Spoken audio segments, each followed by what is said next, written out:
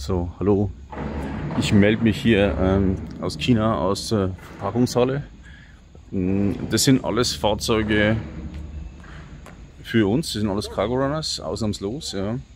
Das sind Big-Modelle. Ähm, wie gesagt, so werden die verpackt. Batteriesätze separat, Dächer separat. Und man sieht, man ist eine große Menge, die auf uns zurollt. Wir wollen also lieferfähig sein.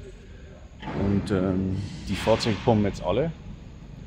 Das hier sind Big Modelle und auf der Seite sind äh, Tausende und Tausender und Zweitausender und 2200er. Also das ist ganz neu. Jetzt haben wir jetzt drei Kategorien.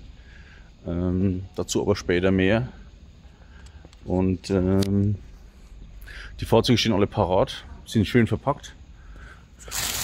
Ja, sind schön und sauber verpackt.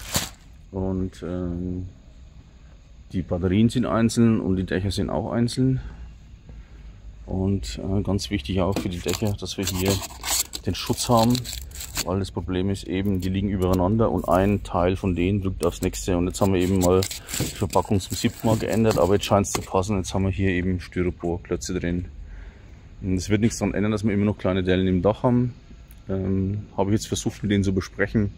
Stoß hier aber auf Granit. so, okay, also so schaut es aus. Und ähm, wir haben gute Lieferfähigkeit. Und die Fahrzeuge kommen dann in ungefähr zwei Monaten bei uns an.